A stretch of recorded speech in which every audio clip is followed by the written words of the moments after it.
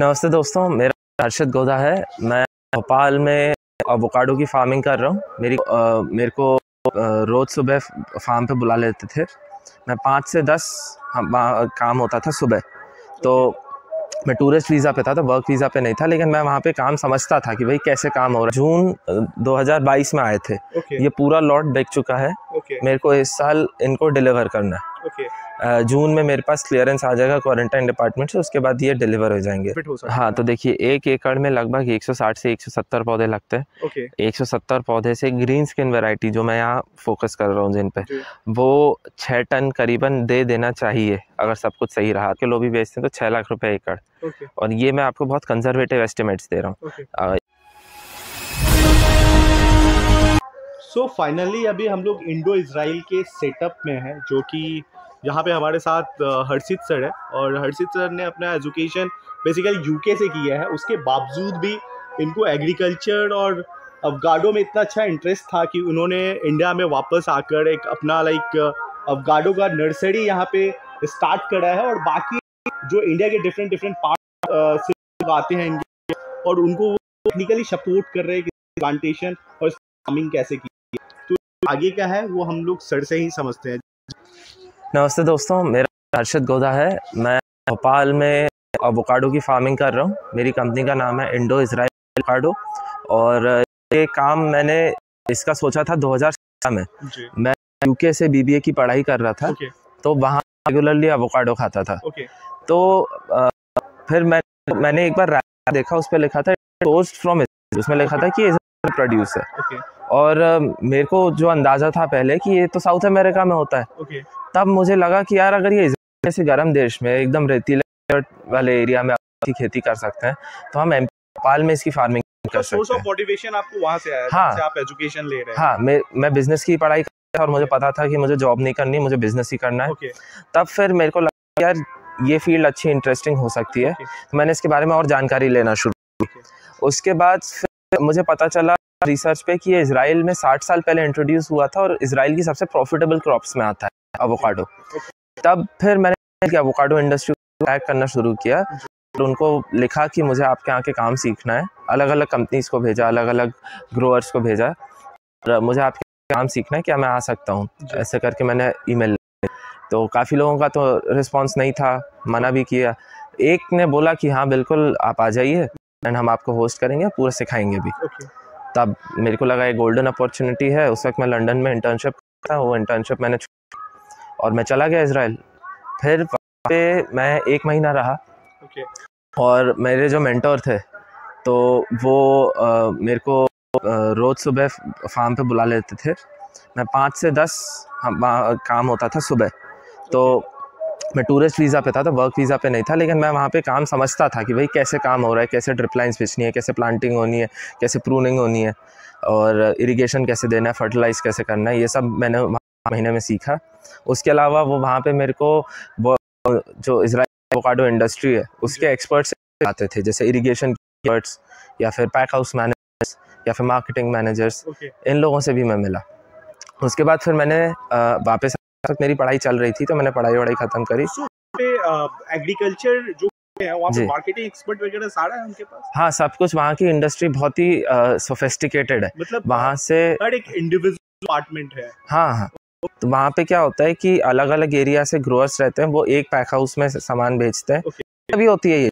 Okay वहाँ पे बस हाईटेक है और प्रोसेस बहुत स्ट्रीमलाइंड है। Okay. तो और उनकी प्रोड्यूस में इतना क्वालिटी रहती है कि वो एक्सपोर्ट कर पाते हैं उनका माल रिजेक्ट नहीं होता जैसे पोर्ट्स पे। अपने यहाँ से प्रॉब्लम ये आती है कि अपन भेजें हमें कोई भरोसा नहीं है कि हमारा माल वहाँ पे कंटेनर रिजेक्ट होता है पेस्टिसाइड्स और केमिकल की वजह से या इससे पहले अवगाडो का खेती इंडिया में कोई नहीं कर रहा था। इंडिया में साउथ में काफ़ी साल पहले से एवोकाडो की हो रही है लेकिन वो कमर्शियल तरीके से नहीं हो रही है और जो उनके पास वेराइटीज़ हैं वो बहुत लोकल टाइप की हैं।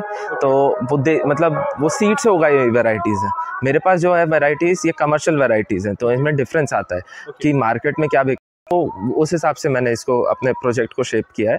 साउथ में जो है वो उनके पास इतने पुराने पेड़ हैं वो कौन सी वैरायटी है उनको भी नहीं पता।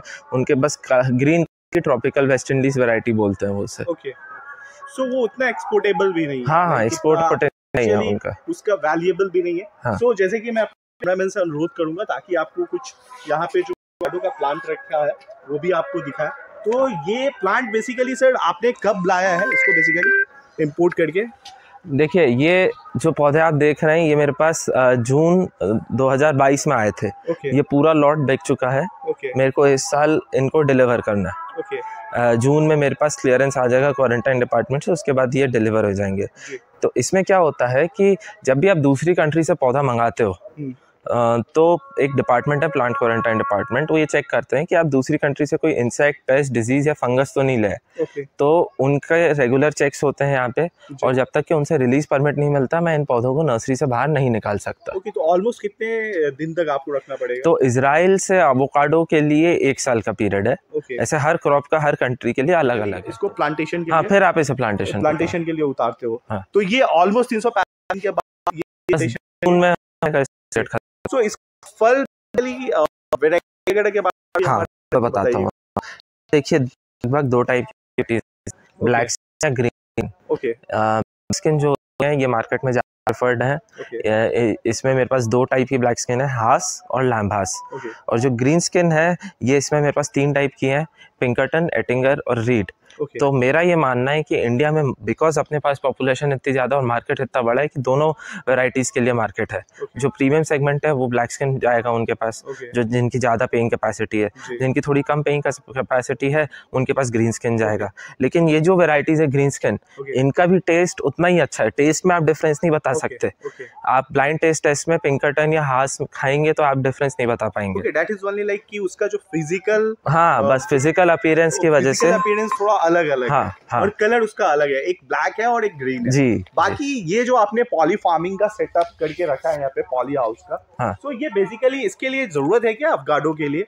या बस आपने ऐसे ही करके नहीं ये देखिए मेरे को नर्सरी में पौधे ग्रो करने ना बड़े करने हैं। तो इसलिए मुझे ज़रूरत है। जब मैं लोगों को सप्लाई करूँगा तब उनको ज़रूरत नहीं है। ओपन एरिया में भी कर सकते ओपन एरिया में ही होती है इसकी खेती। प्लांटेशन एम्बियंस और टेम्परेचर का अगर बात करूँ तो हाँ तो वो मैं वो मैं बताता हूँ। देखिए अगर आपके यहाँ थर्टी फाइव से बिलो रहता है टेम्परेचर तो आप ब्लैक स्किन लगाएँ अच्छा। है ना? और थर्टी फाइव से ऊपर जाता है। Okay forty two forty three forty four तक चला जाता है जैसे जहाँ भोपाल में जाता है। तो फिर तो फिर आप ग्रीन स्किन लगाएँ। ओके सो लाइक बेसिकली हमारा जो इंडिया का एम्बियंस है वो अफगाडो के लिए लाइक like, फेवरेबल है आपके कहने का मतलब? हाँ इंडिया में कुछ लोकेशंस हैं जैसे राजस्थान में प्रॉब्लम होगी। ओके या फिर नॉर्थ की स्टेट्स में जहाँ फ्रॉस्टिंग होती है बर्फ़ पड़ती है वहाँ दिक्कत होगी। लेकिन जैसे भोपाल में है तो वहाँ ग्रीन स्किन सूट करेंगी। North east India Arunachal Sikkim Nagaland तो वहाँ पे ब्लैक स्किन अच्छी होगी। है ना? साउथ बात करूँ बिहार में आपके हाईएस्ट टेम्परेचर कितना जाता है? Highest thirty two forty degree centigrade तक जाती है मैक्सिमम मैक्सिमम फोर्टी जाता है ना ग्रीन स्किन हो जाएगी आपके। ग्रीन स्किन मिनिमम कितना जाता है? मिनिमम आप ठंडा में कह सकते हो सर टेन डिग्री सेंटीग्रेड तक हाँ तो तो ग्रीन स्किन हो जानी चाहिए आपके। ओके सो बेसिकली ये ओपन एरिया में भी हम इसको लगा ओपन एरिया में ही लगा सक लगाते हैं। इसकी क्लोज Okay. क्लोज कल्टीवेशन नहीं होता। नर्सरी है इसलिए क्लोज्ड है। Okay okay. जब पौधा रेडी हो जाएगा हार्डन हो जाएगा तब फिर फ़ील्ड पे जाएगा फिर फ़ील्ड पे तो बड़ी फ़ील्ड रहती है इसकी। Okay. अभी मैं आपको दिखाऊँगा उसमें आपको समझ में आएगा बिल्कुल। ओके ताकि आप देख सकते हैं अभी हम फार्म पे आ गए। तो ये प्लांट्स मेरे फ़र्स्ट कंसेप्ट के थे जो मैंने पिछले 20 दिन पहले फ़ील्ड पे प्लांट किया है। एंड प्लांटिंग की प्रोसीजर मेरे खुद के यूट्यूब चैनल पे जिसका नाम है इंडो इसराइल अवोकाडो तो आप उसको देख सकते हैं। सर के यूट्यूब चैनल का लिंक भी डाल देंगे ताकि सर जो भी अवेयरनेस अफगाडो से रिलेटेड यहाँ पे देते हैं वो ताकि आप अवगत हो पाओ। जी सर तो यहाँ पे जैसा कि आप देखते हैं प्लांटिंग तीन चार चीज़ें इंपॉर्टेंट हैं जो करना ज़रूरी है। एक तो कि हमारी काली मिट्टी है तो काली की वाटर होल्डिंग कैपेसिटी ज़्यादा रहती है। Okay. तो उसकी वजह से पानी की प्लांट्स में ज़्यादा पानी अक्यूमुलेट ना हो okay. तो रेज बनाया जाता है ताकि बारिश के टाइम पानी गिरेगा वो बह के ऐसे साइड चला जाएगा। और फिर यहाँ के इसका स्लोप ऐसा आगे की तरफ़ है तो चला जाएगा। एक चीज़ इरीगेशन सिस्टम पहले से सेटअप होना चाहिए ओके क्योंकि प्लांटिंग करते ही इरिगेशन की रिक्वायरमेंट रहती है। ओके तो आप जैसे यहाँ पे देखेंगे हमने नेटाफिम का इनलाइन ड्रिपर्स यूज़ किए हैं जो हर प्लांट पे दो ड्रिप लाइन्स लगी हैं। और क्या है ड्रिपर्स बीच बीच में भी हैं। तो अभी तो ये किसी काम के नहीं है तो अभी हम इन्हें लॉक करने वाले हैं।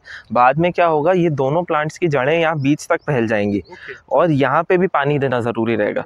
तो इसलिए ये करना ज़रूरी है जो जैसे बढ़ेगा उसके बाद हाँ हाँ मतलब हाँ तीन साल में ये यहाँ तक पहुँच जाएँगी जड़ें okay. सो जब इसका रूट फैल के जब एक दोनों का साथ हो जाएगा हाँ तो आपको यहाँ यहाँ पे भी पानी देना So, आप पड़ेगा देख पा रहे हो यहाँ पे और दोनों के बीच में कितना डिस्टेंस आपने रखा हाँ तो डिस्टेंस में देखिए seven metre row to row distance है जैसा कि आप देख सकते हैं। ये इसलिए ताकि ट्रैक्टर आसानी से मूव कर सके। क्योंकि स्प्रे और हार्वेस्ट के टाइम पे पूरा का पूरा ट्रैक्टर अंदर जाएगा और ये पेड़ की कैनोपी बड़ी होती है। तो इसलिए इजी मूवमेंट के लिए सेवन मीटर और tree to tree distance 3.5 metre है।